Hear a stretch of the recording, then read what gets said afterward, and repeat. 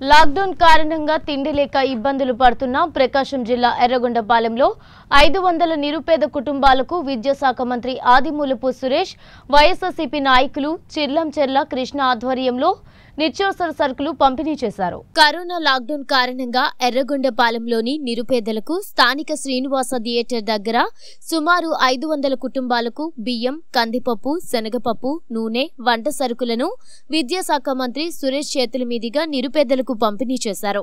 గౌరవ ముఖ్యమంత్రి వర్యులు శ్రీ వైఎస్ జగన్మోహన్ రెడ్డి గారు ముందుండి ఈ మహమ్మారిని ఈ మాయదారి రోగాన్ని మనం అరికట్టాలంటే ఒక పెద్ద మరి ప్రపంచ యుద్ధమే చేయాలి అనే పరిస్థితి మనకు తెలుసు కాబట్టి ఈరోజు ముఖ్యమంత్రి గారు అనేక కార్యక్రమాలు ముఖ్యంగా నిరుపేద వర్గానికి చెందినటువంటి పేద ప్రజలు ఎవరైతే ఉన్నారో వారికి ఈ లాక్డౌన్ పీరియడ్లో ఇరవై ఐదు రోజుల నుంచి వారికి అండగా ఉండాలని చెప్పి పిలుపునివ్వడం ప్రభుత్వ పరంగా కూడా ఇప్పటికీ రెండో దఫా మనం నిత్యావసర సరుకుల పంపిణీ కార్యక్రమం కూడా మొదలుపెట్టిన పరిస్థితి మనం అందరం చూస్తూ ఉన్నాం. మొదటి దఫాలో ప్రతి కార్డుకు ప్రతి వ్యక్తికి ఐదు కేజీల బియ్యం అట్లాగే కార్డుకు ఒక కిలో కందిపప్పు ఒక కిలో చక్కెర మనం పంపిణీ చేయడం జరిగింది. చేయి కలుపుదాం. అందరం నడుం బిగించి మరి నిరుపేద కుటుంబాలను ఆదుకుందాం.